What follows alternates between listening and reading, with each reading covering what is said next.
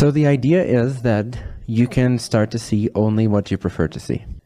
And the power in this is twofold. One is that your subjective experience of life changes immediately, which means that you're no longer taking any cues from your circumstances.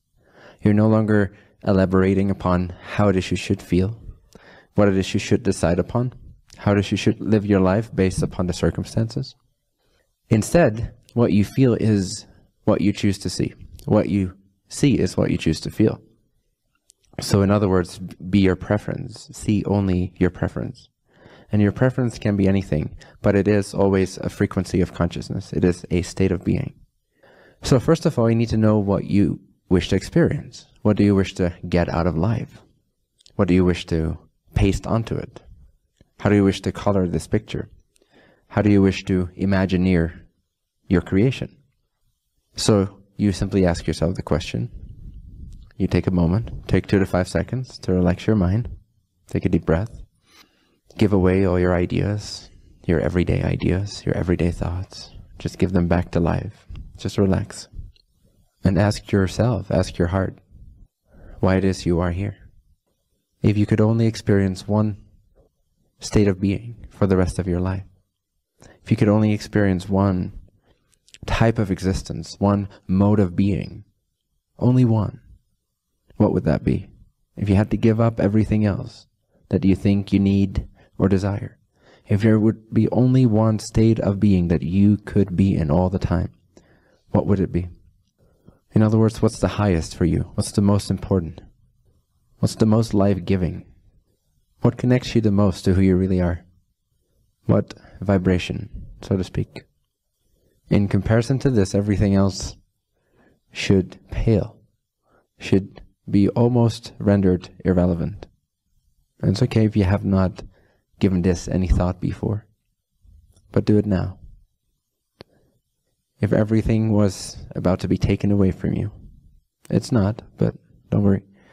But if it was, and you could hold on to only one thing, one idea, one concept, one reality, one existence, one mode of being, one way of being yourself, only one thing what would that be? What would be the most important to you?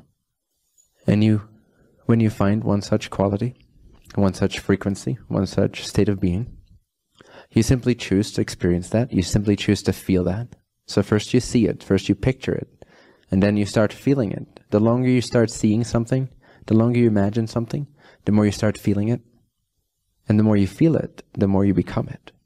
The more you start to exude it, the more you start to become that in your behavior, in your actions, in your state of being, in your speech, in your thought, in your beliefs. All these things, all these aspects of your personality, they start to reflect this chosen state of being. Whatever you choose to emit, and by emit, emitting, I simply mean being, whatever you choose to be in this moment, whatever you choose to see, to feel, and to be, everything else will start to warp itself around that. Literally, you are at the center of a vortex in a sense the center of a, you could picture it as a cyclone or a tornado.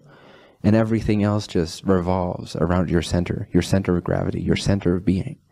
So whatever you place within that center, whatever you choose upon within that center, is inevitably going to dictate the flow of that cyclone, of that vortex, of that energy attraction point. Inevitably, this cannot be undone. In other words, if you are seeing, feeling, and being a certain frequency, everything else in your life starts to reflect this. It cannot not do this. That means that your mind starts to change. Even your body starts to change. Your physique starts to change. Your cells start to change. Your environment starts to change.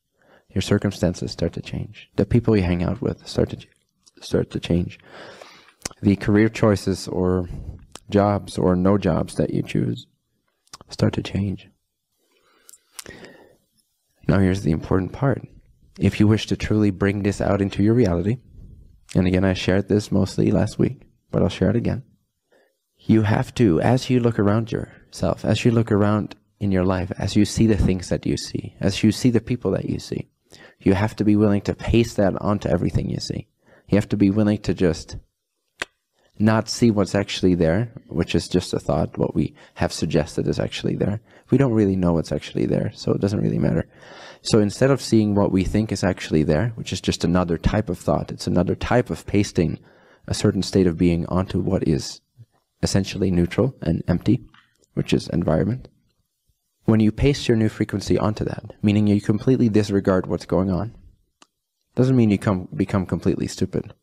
Of course, there's common sense. However, you're not taking your cue from what's occurring. You're not basing anything off of what other people would suggest is happening right now. You become fearless in a way. You become courageous. You become determined. You become bold. You become free. You anchor yourself first and foremost in the frequency of your choice. Tune into that. See it until you start feeling it. And when you feel it, you start to be it. You start to become it. You start to exude it. And then you bring that with you into everyday life. You only see your preference. Your preferred state of being is all you see. So whether someone calls you an asshole or a pretty lady, you don't care. It Doesn't matter either way. It's empty and neutral and meaningless. You simply keep seeing what you wish to see. You keep feeling what you wish to feel. You keep being and acting as you wish to be and act. And when your actions and your behavior, which is synonymous with being, when your behavior becomes so attuned to your chosen frequency of being, then your circumstances will again have to reflect that. If you respond if you see, if you be, if you respond from your chosen frequency only, regardless of what happens outside of you, regardless of how other people would define that moment and say you should be acting accordingly, regardless of all that, if you keep responding to that moment, how you would in your ideal chosen state of being, then that state of being will start to spill out into your environment